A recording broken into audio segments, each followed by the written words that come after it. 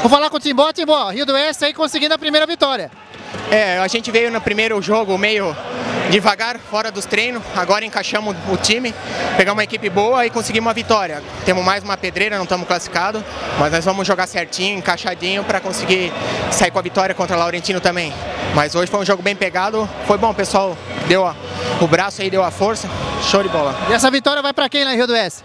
Para o pessoal que está apoiando a gente lá, a prefeitura, a, a Nair lá, Elisandra, ele esqueci, Elisiana, todos eles estão ajudando a gente e o povo resistense lá também que está dando a força.